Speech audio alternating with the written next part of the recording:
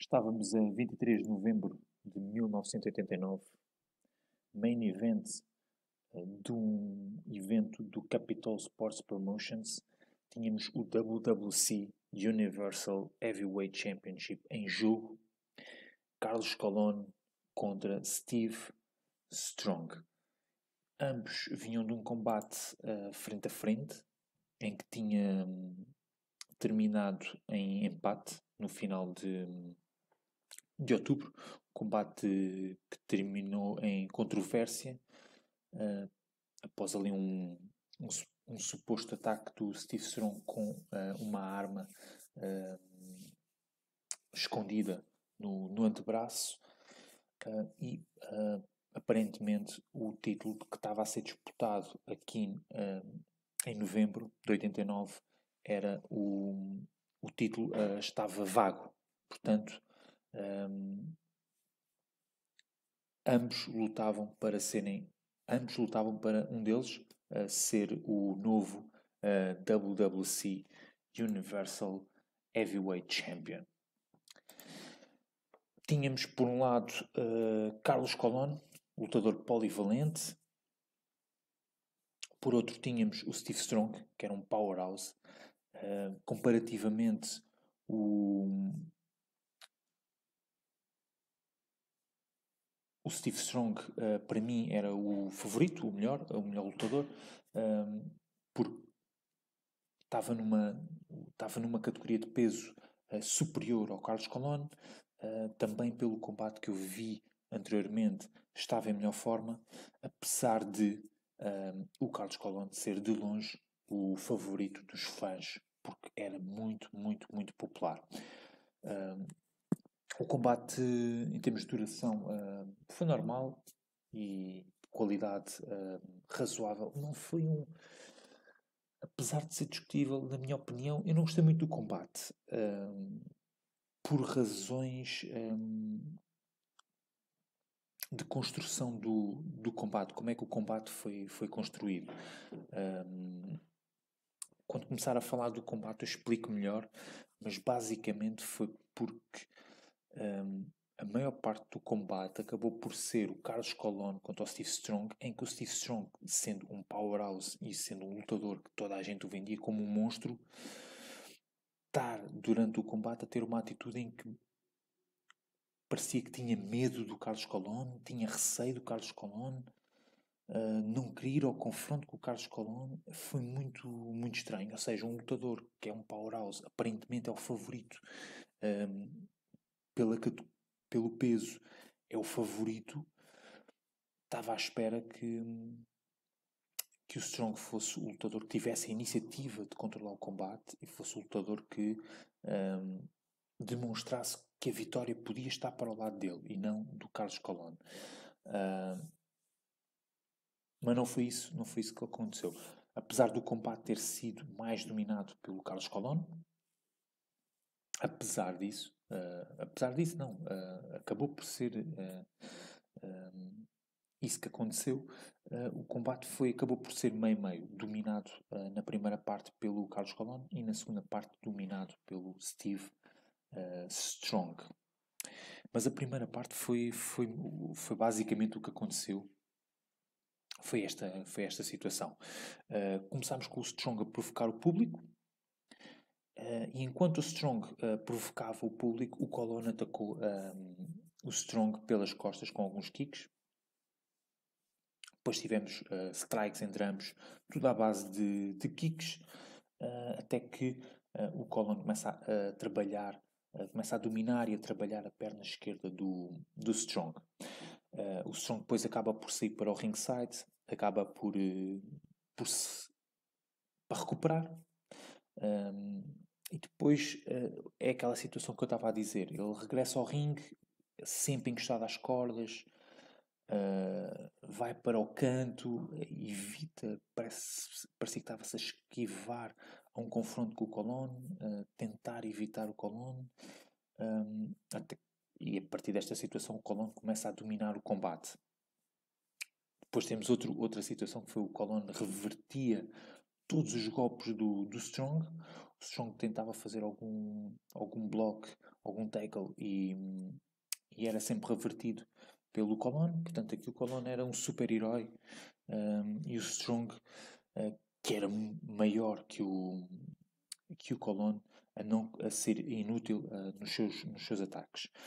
Um, houve uma situação em que o Strong voltou para o ringside, uh, agarrou na proteção do público, lá de uma, agarrou numa barra de segurança, depois foi, foi, foi desenvolvida aos militares que lá estavam à volta do ringue, um, mas basicamente para ameaçar o, o, o Colón. Havia aqui uh, depois uma indicação do, dos comentadores de que havia uma estipulação de que uh, se o Colón uh, vencesse o combate, o Strong teria que sair de Porto Rico e se o Strong vencesse o combate, o Colón teria uh, que se retirar do wrestling. Uh, pelo que os comentadores disseram.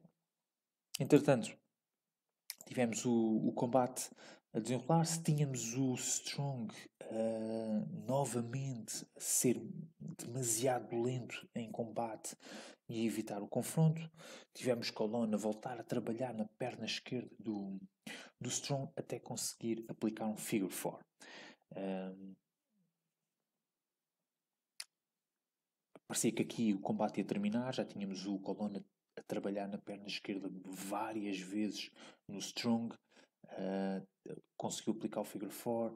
Uh, o figure four depois foi uh, revertido pelo Strong para conseguir ganhar vantagem. O Colón tentou fazer o rope break e o árbitro indicou ao, ao Colón que o combate era sem desqualificações e que o rope break não valia. Portanto, tínhamos aqui até várias estipulações, para além das, do, do, que aconteceria ao, ao, derrotado, também tínhamos aqui uh, um combate, a indicação de que era um combate sem desqualificações. Um, houve aqui depois uma situação em que o Strong conseguiu aplicar um DDT, depois aplicou um um elbow drop, um leg drop, uh, conseguiu basicamente uh, começar a dominar o combate. Uh, no ringside, de, depois o Colon acaba por ir para o ringside, o, Colon, o Strong vai atrás, ataca o Colon, só que o Colon depois consegue reverter e volta para o ringue. Sobe ao topo do canto e ele acho que depois não, acho que não fez nenhum golpe do topo do canto, ou fez? Eu agora não me recordo. Sei que ele saltou. Não, eu acho que ele saltou para o ringue, fez tipo a roda e depois fica de costas para o Strong e aplica-lhe um low blow com o calcanhar no, no Strong. Uh, e depois ainda foi morder o, o Strong. Portanto, aqui também já tínhamos tido uh, no início o, o a atacar o Strong pelas costas e agora tínhamos aqui um, mais dois golpes do Colon que uh, não eram nada faces um, da minha perspectiva.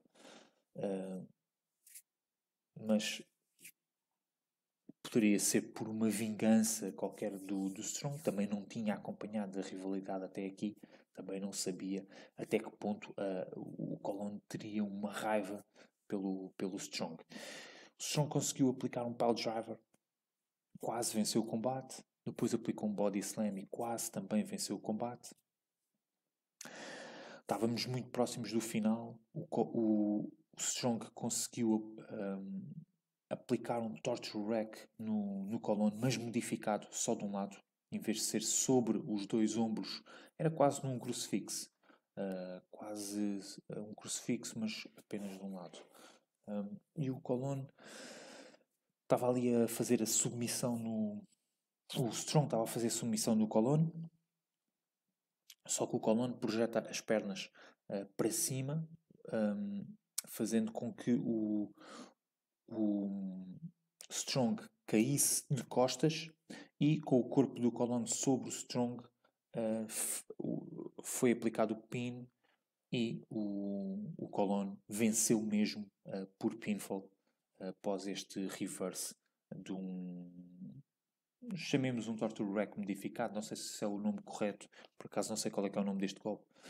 Uh, e o Colon vence e torna-se novamente WWC um, champion.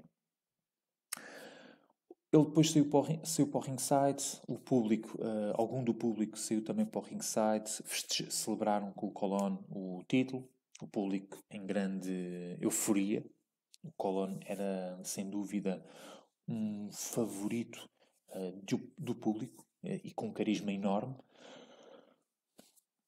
Depois ainda tivemos o Strong a ir buscar uma barra de segurança, ir para o ringue, e o Colón, uh, depois de ter o, o título nas mãos, também subiu ao ringue e ainda foi atacar o Strong com o título atacou o Strong na, na cabeça, uh, fazendo com que o Strong depois saísse, fosse para, para o corredor de entrada e acabasse por sair da arena. Uh, e foi assim que terminou. Uh, como eu disse, o combate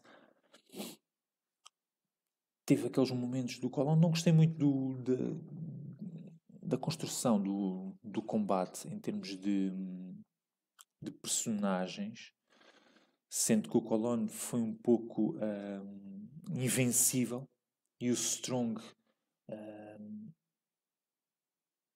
foi um, acabou por ser um pouco medroso, não é? acabou por ser esse, esse lado que, que vimos e que concluímos deste, deste combate. Portanto, uh, com Carlos Colón a vencer, uh, e a tornar-se uh, no novo WWC Universal Heavyweight Champion, obrigou também Steve Strong a sair de um, Porto Rico. Foi assim que terminou. Carlos Colón versus Steve Strong e Carlos Colón, o novo campeão.